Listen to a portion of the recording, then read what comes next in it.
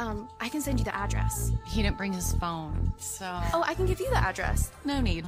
Can't hurt. Might hurt.